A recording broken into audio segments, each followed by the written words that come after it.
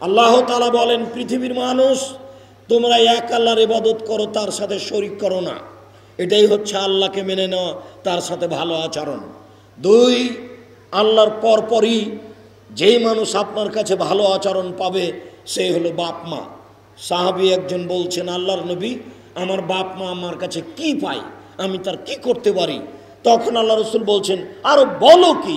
হুমা জান্নাত নারকা? তারাই দুজন তোমার জাহান্নাম, তারাই দুজন তোমার জান্নাত। ওরাই তোমার জাহান্নাম, ওরাই তোমার জান্নাত। বাপমা তোমার জাহান্নাম বাপমা তোমার জান্নাত।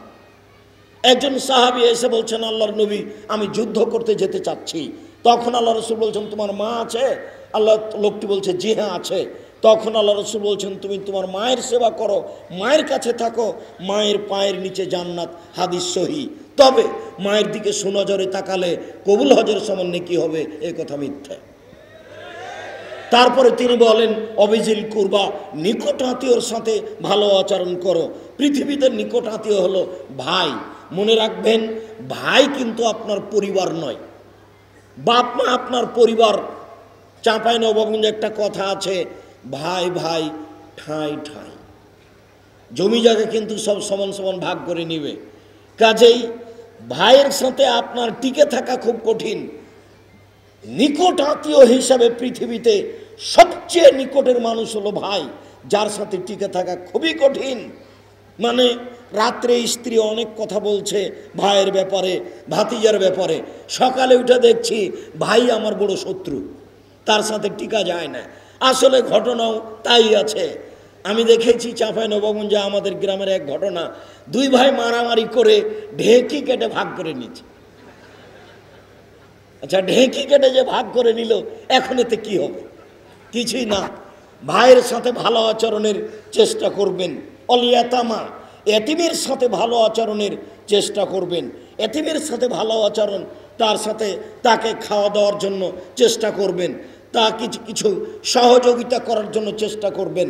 রাসুল সাল্লাহ আলি সাল্লাম বললেন আনাওয়া কাফিরুল এতিম হাকাজা। আমি আর যে ব্যক্তি এতিমের লালন পালন করবে, সে জান্নাতে এভাবে থাকব। তারপরে এই মধ্যমা আর তর্জনী এই দুটি আঙ্গুল দিয়ে ইশারা করে দেখালেন, মধ্যে একটু ফাঁকা রাখলেন। দেখো দেখো দেখো দেখো, যেই এতিমের লালন পালন করবে, সেই ব্যক্তি আর আমি মোহাম্মদ সাল্লাহ সাল্লাম জান্নাতে এভাবে থাকব। হাদিস বোখারি, মুসলিম। তবে তিনি এ কথা বলেছেন, কেউ যদি মেয়ের লালন পালন করে বেটি, নিজ মেয়ে, লালন পালন করল, শিক্ষা দিল, বিবাহ দিয়ে দিল, তাহলে আমি মোহাম্মদ সাল্লাহ সাল্লাম আর ওই বাপ জান্নাতে একসাথে থাকব, তখন আঙ্গুল দুটির মধ্যে ফাঁকা রাখেননি, জমা করে দিয়েছে। বুঝাতে পারলাম না কথা মনে হয়। এতিমের যদি কেউ লালন পালন করে, আমি মোহাম্মদ সাল্লাহ সাল্লাম আর ওই লোকটা জান্নাতে একসাথে থাকব, তখন আঙ্গুল দয়ের মাঝে একটু ফাঁকা রেখেছেন। আবার বলছেন, দুই মেয়ের কেউ যদি লালন পালন করে বিভাষাদি দিয়ে দেয়।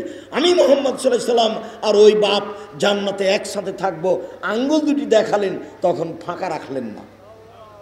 মেয়ের লালন পালন বিশাল ব্যাপার, জান্নাত অচিরেই পাবেন, তবে ভালোভাবে লালন পালনের চেষ্টা করবেন। আবার যদি স্কুল, কলেজে নগ্ন অবস্থায় শিক্ষা অর্জন করে, আপনি গেলেন জাহান নামে বেটি হয়ে যাবে জাহান নামে সম্মানিত দিনী ভাই বোন এরপরে রসুল সাল্লাহ আলি সাল্লামের কাছে একটা লোক অভিযোগ পেশ করল। শাকা আন্না রাজুলান শাকা এলা নবী সাল্লাহ আলি সাল্লাম কাসওয়াতা কালবেই আল্লাহর নবীর কাছে একটা লোক, তার অন্তর খুব শক্ত, তাই অভিযোগ করছে আল্লাহ রসুল মানুষের প্রতি আমার দয়া হয় না। যেমন আপনার কাছে ফকির ভিক্ষা চাইলে আপনি বলেন, মাফ করো, খেতে চাইলে আপনার মন খারাপ হয়। তো বলছে, আমার অন্তর খুব শক্ত, মানুষের উপর আমার অন্তর নরম হয় না। এটাই অভিযোগ আল্লাহ রসুলের কাছে। তখন আল্লাহ রসুল বলছেন, শোনো শোনো শোনো শোনো, ইমসারা আসাল এতিম এতিমের মাথায় হাত দাও। ও আতিমিল মিসকিন, ফকির মিসকিনকে খেতে দাও। ইয়ারিক্য কালবক, তাহলে তোমার অন্তর নরম হয়ে যাবে। আমি বলিনি এই কথা এই কথা মোহাম্মদ সাল্লাহ আলি সাল্লাম বলেন। এতিমের মাথায় হাত দিলে অন্তর নরম হয়ে যাবে এ কথা মোহাম্মদ সাল্লাহ আলি সাল্লাম বলেন। কাজেই এতিমদের দেখাশোনা লালন পালন প্রত্যেকটা মানুষ ভিন্নভাবে করার চেষ্টা করুক, তার আহাল পরিবারের সাথে সাথে, তার নিজের ছেলে মেয়ের সাথে সাথে একটা এতিম ছেলে, একটা এতিম মেয়ে লালন পালন করবে, এটা ভাবা উচিত পৃথিবীর সকল দিনই ভাই বোনের আমি অনুরোধ জানাচ্ছি। পরের বাক্যে আল্লাহ তালা বললেন, যারা মিসকিন তাদের সাথে ভালো আচরণ করো। মিসকিনকে চাইতেও পারে না, সংসারও চলে না, বাড়ির পাশে আছে, সেই হলো মিসকিন। ফকিরকে হাত পেতে চাই যে, দরজায় দরজায় চাই সে হলো ফকির। চাইতেও পারে না, সংসারও চলে না, সে হলো মিসকিন। এরপরে আল্লাহ তালা বলেন, প্রতিবেশীর সাথে ভালো আচরণ করো। দূর প্রতিবেশী, নিকট প্রতিবেশী। তারপরে আল্লাহ তালা বলেন, চলার সাথী চলার সাথীর সাথে ভালো আচরণ করো। আপনি অটোতে গাড়িতে উঠে বসে আছেন। একটা লোক গাড়িতে উঠতেই তার ব্যাগটা আপনার মাথায় লেগে গেছে। আপনি চট করে বলে ফেললেন, চোখ নাই, দেখতে পান না। এ কি কথা? আপনার সাথে কি তার শত্রুতা রয়েছে? কেন আপনি এ কথা বলবেন? আপনি চলার লোকের সাথে, রাস্তার লোকের সাথে ভালো আচরণ জানেন না। দিনরাতে আপনার গাড়ির ওই হেল্পারের সাথে, আপনার ওই কন্ট্রাক্টরের সাথে ঝগড়া হয়। রিক্সাওয়ালার সাথে আপনি ঝগড়া করেন, এই তো আপনার আচরণ, সম্মানিত দিনী ভাই বোন আল্লাহ তালা পরের বাক্যে বললেন, চলার পথিক টাকা হারিয়ে গেছে, সত্য হতে পারে, মিথ্যা হতে পারে। বলছে, আমার বাড়ি বরিশাল। আমার রাস্তার টাকা হারিয়ে গেছে, দয়া করে দুশোটা টাকা দিন। আপনি একবারে খেপে মারতে চাইলেন, সত্য তো হতে পারে। বেশিরভাগই মিথ্যে, এটাই ধরে নিলাম। সত্য তো হতে পারে, দুশো টাকা চেয়েছে, দুশো টাকা না দিয়ে পঞ্চাশটা টাকা দিয়ে বিদায় করেন। চলার লোক যেই, পথিক যেই, আপনার কাছে টাকা হারিয়ে গেছে বলে টাকা চেয়েছে, তাকে ধমক দিয়ে গালি দিয়ে বিদায় করবেন না, এটা আল্লাহর আদেশ। আপনার অধীনে কাজের লোক যেই, তার সাথে ভালো আচরণ করার চেষ্টা করুন।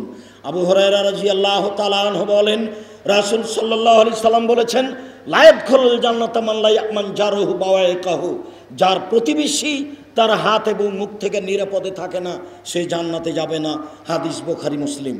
রাসুল সাল্লাহ আলি সাল্লাম বলেন, আল্লাহ আল্লাহর কসম ও মোমেন নয় আল্লাহ লাইমেনো আল্লাহর কসম মুমিন নয়। আল্লাহ লাইমেনো আল্লাহর কসম মুমিন নয়। কিলা মানিয়া রসুল আল্লাহ বলা হলো আল্লাহর নবী কে, কার কথা বলছেন? যে ও মুমিন নয়। বলবেন তো সে কে? বারবার বলছেন আল্লাহর কসম মুমিন নয়। আল্লাহর কসম মুমিন নয়। আল্লাহর কসম মুমিন নয়। সে কে একটু বলেন না। তখন আল্লাহ রসুল বললেন মাল্লা ইয়াকমান যার ওহু বাবা এ যার প্রতিবেশী তার হাত মুখ থেকে নিরাপদে থাকে না, সে মুমিন নয়। চারটা জিনিস আছে যার সুখময় জীবন তার। আল্লাহ রসুলের নিজের মুখের ভাষা। আর বা অনলি সাদা, সুখময় জীবনের জন্য চারটা জিনিস লাগে। সুখময় জীবন তার, চারটা জিনিস আছে যার। চারটা জিনিস আছে যার, সুখময় জীবন তার। এক আলমারাত সালেহা, ভালো একটা বউ। ভালো একজন স্ত্রী এক নম্বরে। দুই নম্বর, আর যার সলে ভালো প্রতিবেশী। ভালো প্রতিবেশী যার সুখময় জীবন তার। তিন আলমার কবুল হানি, একটা ভালো গাড়ি যেই যখন তখন নষ্ট হয় না। একটা ভালো সাইকেল যার যখন তখন আপনার টায়ার পাংচার্জ হয়ে যায় নে- নেমে যেতে হয় না। তারপরে বললেন, আল বাইতুল অসে প্রশস্ত ঘর। অন্তত মেহমানের ঘরটা বড় করে প্রশস্ত করে রাখবেন, যারা আটজন, দশজন যেন একসাথে খেতে পারে। তারপরের বাক্যে আল্লাহ রসুল বলছেন, চারটে জিনিস নেই যার দুঃখময় জীবন তার, চারটে জিনিস নেই যার দুঃখময় জীবন তার, কষ্টময় জীবন তার, বিপজ্জনক জীবন তার। এই কথা বলে পাল্টা আবার ওই চারটাকে ধরলেন। তার প্রথম ধরলেন, ভালো বউ নেই যার, তার জন্য সুখময় জীবন নয়। ভালো প্রতিবেশী নেই যার তার জন্য সুখময় জীবন নয়। আপনার বাচ্চাটা একটু ভাত খাওয়ার পরে পানিটা চালিয়ে দিয়েছে, প্রতিবেশীর ঘরে গিয়ে লেগে গেছে, এই যে ঝগড়া লেগে গেল। আবু আনহু বলেন, রাসূল সাল্লাল্লাহু আলাইহি সাল্লাম বলেছেন, মান কানা ইউমিনু বিল্লাহি ওয়াল ইয়াউমিল আখির যে ব্যক্তি আল্লাহকে বিশ্বাস করে, যে ব্যক্তি পরকালকে বিশ্বাস করে, ফালা ইউদি যারাহু সেই জন্য তার প্রতিবেশীকে কষ্ট না দেয়। জরুরি আদেশ। হাদিস বোখারি, মুসলিম। জরুরি আদেশ। যে ব্যক্তি আল্লাহকে বিশ্বাস করে, যে ব্যক্তি পরকালকে বিশ্বাস করে সেজন্য তার প্রতিবেশীকে কষ্ট না দেয়। এ কথা মোহাম্মদ সাল্লাহ সাল্লাম বলেন। আয়েসারাজি আল্লাহ তালা আনহা বলেন যে, সর্বদা আল্লাহ রাসুল খালি বলেন। আল্লাহ রসুল আল্লাহ রসুল বলছেন যে জিব্রাইল বলে সর্বদা জিব্রাইল আমাকে বলে যে প্রতিবেশীর প্রতি লক্ষ্য করবেন, প্রতিবেশীর প্রতি লক্ষ্য করবেন। জানেন তো, আমি মনে করলাম যে আইওয়ার রে সাহু কখন যে জিব্রাইল এসে বলবেন যে প্রতিবেশীকে জমির ভাগ দিতে হবে। খালি প্রতিবেশী খালি প্রতিবেশী। যখনই জিব্রাইল আমার কাছে আসেন, বলেন, প্রতিবেশীর প্রতি লক্ষ্য করবেন, প্রতিবেশীর প্রতি লক্ষ্য করবেন। বলাতে আমার মনে হচ্ছে যে কখন জিব্রাইল এসে বলবেন যে প্রতিবেশীকে জমির ভাগ দিতে হবে। প্রতিবেশীর হক রাসুল সাল্লাহ আলি সাল্লাম বর্ণনা করেন, যেভাবে তিনি বলেন ওম সালমা রাজিয়াল্লাহ তালা আনহা বলেন, রাসুল সাল্লাহ আলি সাল্লাম বলেছেন ইয়া মুসলিমাত, লা তাহার লা তাহাকে রান্না জারাতলে জারাতে হা কোনো মহিলা যেন তোর প্রতিবেশীকে তুচ্ছ মনে না করে। কোনো মহিলা যেন তার প্রতিবেশীকে তুচ্ছ মনে না করে। অলাও ফিরছে না সাতিন অল্প কিছু দিয়ে হলেও। তার মানে মহিলা মানুষকে প্রতিবেশীকে কিছু দিতে হবে। তরকারি দিয়ে পাঠাতে হবে। একটু খাদ্য পানি দিতে হবে। বাড়িতে যেটা হয়েছে সেটা দিতে হবে। আবু জার গেফারি রাজি আল্লাহ বলেন, রাসুল সাল্লাম বলেছেন, আবু জার, এজা তাবাখ মারা কাতান যখন তুমি তরকারি রান্না করবে, ফাঁকসের মাহা, তখন একটু পানি বেশি করে দিও। তাহা জিরা নাকা এ দিয়ে প্রতিবেশীর প্রতি লক্ষ্য করিও। পানি বেশি হলে তরকারি বেশি হবে। তখন তুমি প্রতিবেশীকে কিছু দিতে পারবা আপনার স্ত্রীর আচরণের কথা বলি। আপনার স্ত্রী প্রতিবেশীকে কিছু দেয় না। কিন্তু প্রতিবেশী একদিন তরকারি দিয়ে পাঠিয়েছে, আপনার স্ত্রীর আচরণ। তরকারিটা জিভা দিয়ে দেখে বলছে যে কী যে রান্না করেছে? এই এই নীতি যেন আপনার স্ত্রী কখনো গ্রহণ না করে। প্রতিবেশী যেটা দিয়েছে, তাকে মূল্যায়ন করতে হবে, জরুরি। ও তরকারি খেতে পারুক আর না পারুক, সেটা গরুকে দিয়ে দিক। কিন্তু বাটিটা আবার পাল্টা ফেরত দিতে পারবে না, খালি তার ভালো তরকারি দিয়ে পাঠাবে তাকে। এই কথাই রাসুল সাল্লাহ আলি সাল্লাম বলেন, প্রতিবেশীকে মূল্যায়ন করতে হবে। এভাবেই আয়সার জিয়াল্লাহ তালা আনহা বলেন, ইন্নে লি জারাইনে। আল্লাহ রসুল আমার দুইটা প্রতিবেশী। আল্লাহ রসুল আমার দুইটা প্রতিবেশী। ও উহুদি হেমা আমি তাদেরকে কিছু হাদিয়ে দিতে চাই। আমি তাদেরকে কিছু হাদিয়ে দিতে চাই। তো দিব কি? কীভাবে দিব? কাকে দিব?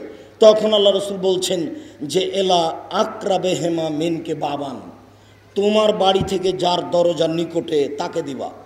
তোমার বাড়ি থেকে যার দরজার নিকটে তাকে দিবা। কি দিবে? যা আছে এটুকু দিবে।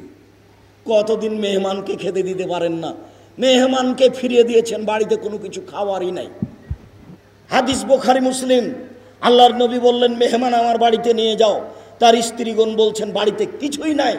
শেষ পর্যন্ত মেহমান ফিরে এসেছে। হাদিস বোখারি, মুসলিম। তিনি বলছেন, একজন মহিলা দুইটা বাচ্চা নিয়ে সে খেতে চাইলো। আমি আয়েশা বাড়ি তন্ন তন্ন করে খুঁজলাম। বাড়িতে কিছুই পেলাম না, একটা খেজুর ছাড়া, একটা খেজুর মহিলার হাতে দিলাম। মহিলা খেজুরটা দুই টুকরা করে দুই মেয়েকে দিল, দুই মেয়ে খেয়ে নিল, চলে গেল। বাড়িতে কিছুই নাই, একটা খেজুর ছাড়া। আবার এক সময় বলছেন, আল্লাহর নবী আয়েশা, কোনো নাস্তা পানি আছে? আয়েশা বলছেন, কিছুই নেই। তখন আল্লাহ নবী বলছেন, তাহলে আমি সেম রোজা থেকে গেলাম। এই কারণে আমি বলে থাকি, ওই ঈদের মাঠের ঘটনাটা মিথ্যে।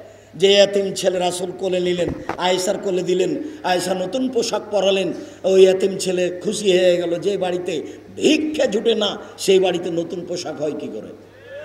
ভিক্ষে নেই, ফকিরকে ভিক্ষে দিবে তার কোনো পথ নেই, সেই বাড়িতে আবার নতুন পোশাক, এটা হয় না। সম্মানিত দিনী ভাই বোন, আপনার প্রতিবেশী হিসাবে যার দরজার নিকটে তাকে আপনি তরকারি দিয়ে পাঠাবেন, হাদিয়া দিয়ে পাঠাবেন। এ কথা মোহাম্মদ সাল্লাহ আলি সাল্লাম বলেন। তিনি বলেন ইবরা আব্বাস রাজি আল্লাহ তালানোর বর্ণনা, লাইসাল মুমিন আল্লাযী ইয়াশবাউ ওয়া জারু জা'i ওই লোক মুমিন নয় যে নিজে তৃপ্তি সহকারে খায় আর প্রতিবেশী ক্ষুধার্ত থাকে। এই কথাটা সত্য। হাদিসের কথা রাসুল সাল্লাম বলেছেন, ওই ব্যক্তি মোমেন নয় যে তৃপ্তি সহকারে খায়, প্রতিবেশী ক্ষুধার্ত থাকে। ওই ব্যক্তি মোমেন নয়, যে তৃপ্তি সহকারে খায়, প্রতিবেশী ক্ষুধার্ত থাকে। আবু হরাইরা রাজিয়াল্লাহ তালাহ বলেন, রাসুল সাল্লাহ সাল্লাম বলেছেন, আউয়াল খাসমানে, খাসমাইনি অমল কেয়ামা যার আনে বিচার মাঠে প্রথম বিচার হবে দুই প্রতিবেশীর। বিচার মাঠে প্রথম বিচার হবে দুই প্রতিবেশীর। আব্দুর রাজাক সাহেব, একটু থামেন একাধীন একাধিক দিন আপনার বক্তব্য শুনেছি যে বিচার মাঠে প্রথম বিচার হবে, যারা সলাৎ আদায় করে না তাদের, অর্থাৎ সলাতের প্রথম বিচার হবে। আজকে বলছেন, দুই প্রতিবেশীর বিচার প্রথম হবে বিচার মাঠে।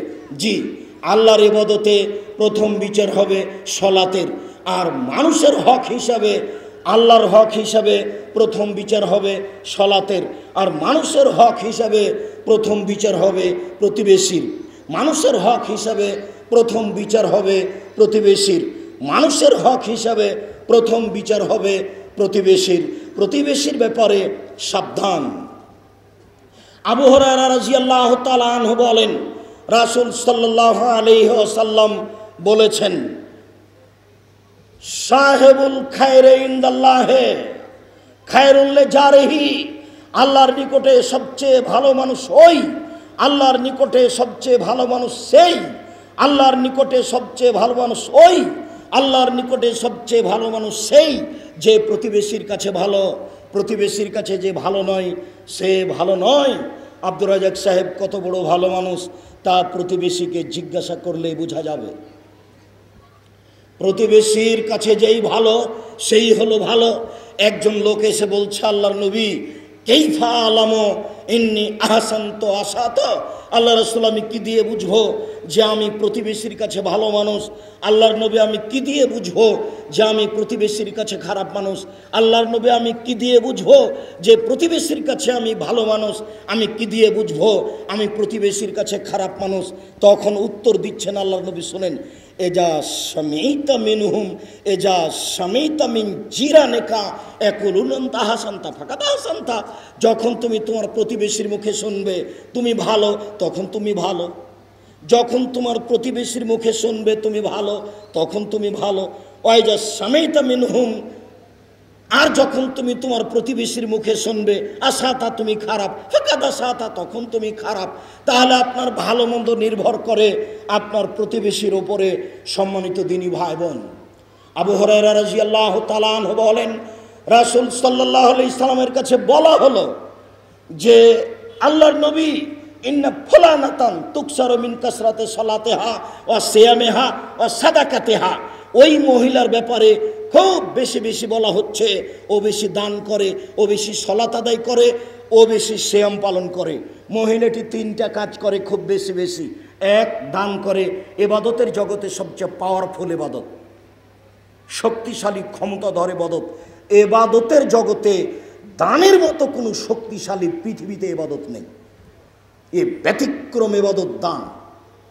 এর মতো শক্তিশালী এবাদত পৃথিবীতে নেই।